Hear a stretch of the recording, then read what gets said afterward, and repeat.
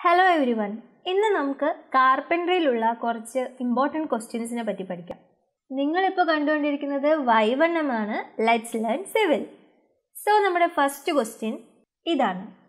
It indicates the lining or panelling of wood on the lower part of masonry walls say for a height of about six hundred M M from the floor level and the options are studding rebating wainscot and mitring അപ്പം നമ്മുടെ ചോദ്യം എന്താണെന്ന് പറഞ്ഞിട്ടുണ്ടെങ്കിൽ ഈ image ശ്രദ്ധിക്കുക. ഇത് നമ്മുടെ masonry വോളാണ് അപ്പോൾ ഈ വോളിന്റെ താഴത്തെ ഭാഗത്ത് അതായത് നമ്മുടെ ഫ്ലോർ ലെവലിൽ നിന്ന് ഏകദേശം ഒരു അറുപത് സെന്റിമീറ്റർ ഒക്കെ ഹൈറ്റിൽ നമ്മളിങ്ങനെ താഴെ കൊടുക്കുന്ന ഈ ഒരു വുഡൻ പാനലിങ്ങിനെ വിളിക്കുന്ന പേരെന്താണെന്നുള്ളതാണ് ചോദ്യം. അതിനെ നമ്മൾ വിളിക്കുന്ന പേരാണ് wainscot So let's move on to the next question dash is the process of covering entire or part of exposed surface of timber by means of veneers for decorative purposes. And your options are veneering, studding, wainscot, nosing. ഈ image ശ്രദ്ധിക്കുകയാണെങ്കിൽ ഈ കാണിച്ചിട്ടുള്ള thin sheet of ടിമ്പറിനെയാണ് നമ്മൾ veneer എന്ന് പറയുന്നത് ഈ veneer ഉപയോഗിച്ച് timber സർഫസിനെ മുഴുവനായിട്ടോ അല്ലെങ്കിൽ അതിന്റെ ഒരു പാർട്ടോ നമ്മളിങ്ങനെ കവർ ചെയ്യുന്ന പ്രോസസ്സിനെ വിളിക്കുന്ന പേരെന്താണെന്നാണ് ചോദ്യം. അതിനെ നമ്മൾ വിളിക്കുന്ന പേരാണ് വെനീറിങ് ആക്ച്വലി ഈ വെനീറിങ് നമ്മൾ ചെയ്യുന്നത് ഒരു ഡെക്കറേറ്റീവ് പർപ്പസിന് വേണ്ടിയിട്ടാണ്. ഓക്കെ നമുക്ക് അടുത്ത ക്വസ്റ്റ്യനിലേക്ക് കടക്കാം.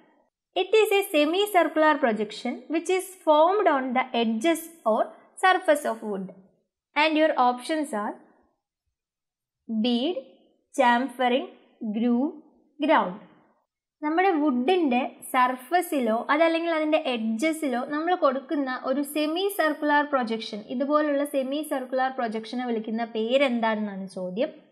അതിനെ നമ്മൾ വിളിക്കുന്ന പേരാണ് bead next question it is used to indicate the sinking of edge of one piece of timber into another and your options are studding shooting nosing housing question എന്താണെന്ന് പറഞ്ഞിട്ടുണ്ടെങ്കിൽ നമ്മുടെ കയ്യിൽ ഇപ്പോൾ രണ്ട് ടിമ്പർ പീസ് ഉണ്ട്.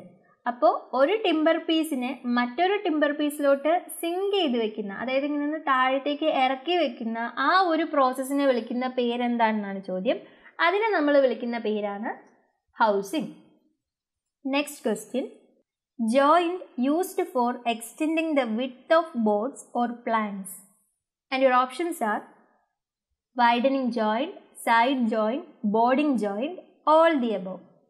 നമ്മുടെ ടിമ്പറിന്റെ ബോർഡുകളെ അല്ലെങ്കിൽ ആ പ്ലാങ്കുകളുടെയൊക്കെ വീതി കൂട്ടാൻ വേണ്ടി നമ്മൾ ഉപയോഗിക്കുന്ന ജോയിന്റ് എന്താണെന്നാണ് ചോദ്യം. അപ്പോൾ ഈ ഒരു ക്വസ്റ്റ്യന്റെ ആൻസർ എന്ന് പറയുന്നത് ഓൾ ദി എബവ് ആണ്. വൈഡനിങ് ജോയിന്റ് നമ്മൾ സാധാരണ നമ്മുടെ ടിമ്പർ പീസിന്റെ വിട്ട് കൂട്ടാൻ വേണ്ടി ഉപയോഗിക്കുന്നതാണ്. അതിന്റെ മറ്റ് രണ്ട് പേരുകളാണ് സൈഡ് ജോയിൻസ് ബോർഡിംഗ് ജോയിൻസ് എന്ന് പറയുന്നത്. വൈഡനിങ് ജോയിൻസ് മെയിനായിട്ട് ഈ ലിസ്റ്റ് ചെയ്തിട്ടുള്ള പതിനൊന്ന് ടൈപ്പിലാണ് ഉള്ളത്. Okay let's move on to the next question joint formed by placing two ends of the members one over the other for a short distance and binding them together by means of wrought iron strap and your options are lapped joint spliced joint fished joint tabled joint ഒരു timber പീസിനെ മറ്റൊരു timber പീസിലേക്ക് കുറച്ച് ഡിസ്റ്റൻസിൽ ഒരു short ഡിസ്റ്റൻസിൽ കയറ്റി വെച്ചിട്ട് ഒരു rote iron strap ഒക്കെ വെച്ചിട്ട് ബൈൻഡ് ചെയ്ത് നിർത്തുന്ന അങ്ങനെ ഉണ്ടാക്കുന്ന ജോയിന്റിനെ വിളിക്കുന്ന പേരെന്താണെന്നാണ് ചോദ്യം. അതിന്റെ പേരാണ് ലാപ്ഡ് ജോയിന്റ് എന്ന് പറയുന്നത്. ഈ ഇമേജ് നോക്കുകയാണെങ്കിൽ ഇത് കണ്ടോ? ഇതൊരു ടിമ്പർ പീസാണ് ഇത് മറ്റൊരു ടിമ്പർ പീസാണ് ഇതിന്റെ നീളം കൂട്ടാൻ വേണ്ടിയിട്ട് നമ്മൾ ഒരു ടിമ്പർ പീസിനെ മറ്റൊന്നിലേക്ക് ചേർത്ത് വെച്ചിട്ട് പിന്നീട് ഇവിടെ നമ്മൾ അയൺ സ്ട്രാപ്പ് ഒക്കെ വെച്ച് കെട്ടി ബൈൻഡ് ചെയ്ത് നിർത്തുകയാണ്. അപ്പോൾ ഇത്തരത്തിലുള്ള ഒരു ജോയിന്റിനെയാണ് ലാപ്ഡ് ജോയിന്റ് എന്ന് പറയുന്നത്. Okay let's move on to the next question the edge of portion over ഹാങ്ങിങ് a vertical surface is known as and your options are veneering nosing wainscot studding ഒരു വെർട്ടിക്കൽ സർഫസിൽ നിന്ന് പുറത്തേക്ക് ഓവർ ഹാങ് ചെയ്ത് നിൽക്കുന്ന ആ ഒരു പോർഷനെ വിളിക്കുന്ന പേരെന്താണെന്നുള്ളതാണ് ചോദ്യം. അതിനെ നമ്മൾ വിളിക്കുന്ന പേരാണ് നോസിൻ. ഈ ഒരു ഇമേജ് നോക്കുകയാണെങ്കിൽ നമുക്ക് ക്ലിയർ ആയിട്ട് മനസ്സിലാവും. ഈ ഒരു ഭാഗത്തെയാണ് നമ്മൾ നോസിങ് എന്ന് പറയുന്നത്. ഒരു വെർട്ടിക്കൽ സർഫസിൽ നിന്ന് ഇങ്ങോട്ട് പുറത്തേക്ക് ഓവർ ഹാങ് ചെയ്ത് നിൽക്കുന്ന പോർഷനാണ് നോസിങ് അടുത്ത question the joint formed by cutting small notches in the timber member and providing notches on the lower member with a projection in the centre is and your options are halved joint notched joint cogged joint housed joint ഈ ക്വസ്റ്റിന്റെ answer എന്ന് പറയുന്നത് കോഗ്ഡ് joint ആണ്. അപ്പോൾ ഇതെന്താണെന്ന് പറഞ്ഞിട്ടുണ്ടെങ്കിൽ നമുക്ക് രണ്ട് ടിമ്പർ പീസ് ഉണ്ടാവും ജോയിൻ ചെയ്യാനായിട്ട്. അപ്പോൾ ഈ താഴത്തെ ടിമ്പർ പീസിൽ നമ്മൾ സെന്ററിലായിട്ടൊരു പ്രൊജക്ഷൻ പോലെ കട്ട് ചെയ്ത് നിർത്തും. ആ പ്രൊജക്ഷനിൽ കയറിയിരിക്കുന്ന വിധത്തിൽ നമ്മുടെ മുകളിലത്തെ ടിമ്പർ പീസിൽ ഒരു നോച്ച് ഉണ്ടാക്കും. നോച്ച് എന്ന് പറഞ്ഞാൽ അതിനനുസരിച്ച് അത് കട്ട് ചെയ്ത് വെക്കും. താഴത്തെ ടിമ്പർ പീസിൽ ഇവിടെ സെന്റർ ഭാഗത്തൊരു പ്രൊജക്ഷനും മുകളിലത്തെ ടിമ്പർ പീസ് നോക്കുകയാണെങ്കിൽ അവിടെ ഒരു നോച്ച് ആയിരിക്കും ഉണ്ടായിരിക്കുക. കാരണം കയറി ഇരിക്കാൻ വേണ്ടിയിട്ട്. അപ്പോൾ ഇങ്ങനെയുള്ള ഈ പ്രൊജക്ഷനെയാണ് നമ്മൾ കോഗ് എന്ന് പറയുന്നത്. അപ്പോൾ ഇത്തരത്തിലുള്ള ജോയിന്റിനെ വിളിക്കുന്ന പേരെന്താണെന്നായിരുന്നു ചോദ്യം. അതിനെ വിളിക്കുന്ന പേരാണ് കോഗ്ഡ് ജോയിന്റ് അടുത്ത question the joins used to increase the length of wood members and your options are lengthening joint longitudinal joint spliced joint all the above ഈ ക്വസ്റ്റിന്റെ ആൻസർ എന്ന് പറയുന്നത് ഓൾ ദി എബവ് എന്നുള്ളതാണ്. അതായത് ഒരു ടിമ്പർ മെമ്പറിന്റെ ലെങ്ത് കൂട്ടാൻ വേണ്ടി നമ്മൾ ഉപയോഗിക്കുന്ന ജോയിന്റിനെ വിളിക്കുന്ന പേരെന്താണെന്നാണ് ചോദ്യം. അത് ആക്ച്വലി ലെങ്തനിങ് ജോയിന്റ് ആണ്. അപ്പോൾ ഈ ലെങ്തനിങ് ജോയിന്റിനെ അറിയപ്പെടുന്ന രണ്ട് മറ്റു പേരുകളാണ് ലോഞ്ചിറ്റ്യൂഡിനൽ ജോയിന്റ് അഥവാ സ്പ്ലൈസ്ഡ് ജോയിന്റ് എന്ന് പറയുന്നത്. പിന്നെ നമ്മൾ സാധാരണ കണ്ടുവരുന്ന ലെങ്തനിങ് ജോയിന്റിന്റെ ഫോംസ് ആണ് ഈ താഴെ കാണിച്ചിട്ടുള്ള നാലെണ്ണം. ലാപ്ഡ് ജോയിന്റ് ഉണ്ട് ഫിഷ്ഡ് ജോയിന്റ് ഉണ്ട് സ്കാർഫ്ഡ് അല്ലെങ്കിൽ സ്പ്ലൈസ്ഡ് ജോയിന്റ് ഉണ്ട് ടേബിൾഡ് ജോയിന്റ് ഉണ്ട്. അപ്പോൾ നമ്മുടെ ടിമ്പർ പീസിന്റെ നീളം കൂട്ടാൻ വേണ്ടി നമ്മൾ ഉപയോഗിക്കുന്ന ജോയിന്റിനെയാണ് ലെങ്തനിങ് ജോയിന്റ് അല്ലെങ്കിൽ ലോഞ്ചിറ്റ്യൂഡിനൽ അല്ലെങ്കിൽ സ്പ്ലൈസ്ഡ് ജോയിന്റ് എന്ന് പറയുന്നത്. അടുത്ത question process of joining two pieces of timber at an angle is called and your options are mitring scribing housing nosing ഈ ക്വസ്റ്റിന്റെ ആൻസർ എന്ന് പറയുന്നത് മൈട്രിങ് എന്നുള്ളതാണ്. അതായത് നമ്മുടെ ടിമ്പർ പീസുകളെ ഒരു ആംഗിളിൽ ജോയിൻ ചെയ്യുന്ന ആ ഒരു പ്രോസസ്സിനെ വിളിക്കുന്ന പേരെന്താണെന്നാണ് ചോദ്യം. ഇപ്പോൾ ഈ ഒരു ഇമേജ് നമ്മൾ ശ്രദ്ധിക്കുകയാണെങ്കിൽ ഇവിടെ നമ്മുടെ ഈ ഒരു ടിമ്പർ പീസിനെ കട്ട് ചെയ്തിരിക്കുന്നത് ഫോർട്ടി ഫൈവ് ഡിഗ്രിയിലാണ്. എന്നിട്ട് രണ്ട് പീസും ഫോർട്ടി ഫൈവ് ഡിഗ്രിയിൽ കട്ട് ചെയ്തിട്ട് ജോയിൻ ചെയ്യാണ്. അപ്പോൾ ഇങ്ങനെ എത്ര ഡിഗ്രിയിൽ വേണമെങ്കിലും നമുക്ക് ഈ ടിമ്പർ പീസിന്റെ എഡ്ജുകൾ കട്ട് ചെയ്യാൻ പറ്റും.